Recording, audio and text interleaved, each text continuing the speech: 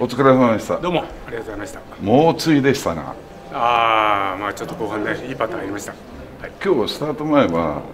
もう行けるところまで行こうっていう気持ちでこう。いやいやそんなこと全然ないですね。え今グリーンの状態がね素晴らしいんで、うん、ちょっとスピードが出てるんでね、うん、まあ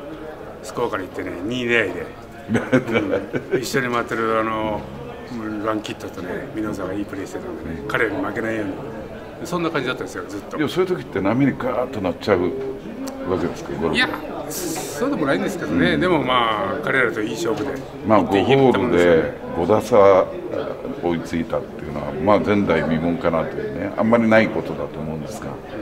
うん、まあそこでプレーオフで負けるとこは僕のいいところで。最後のパッターちょっと惜しかったですが。先にああやって入れるとねやっぱりね難しいですね後から入れるのはね。やっぱりこやられたっていう気がするんですかね。いやいややられたってのは思うんですよ、僕も入れなきゃっていう全然打つ時もそんな、ね、気持ちは持たないですけど、ね、なんか司プロは、まあ、18ホールラウンド中に来るとしたら室田さんだなって思ってたっていう。まあそれだけやっぱり強い存在と見られてますが、まあ、ね、あのまあ市内になると、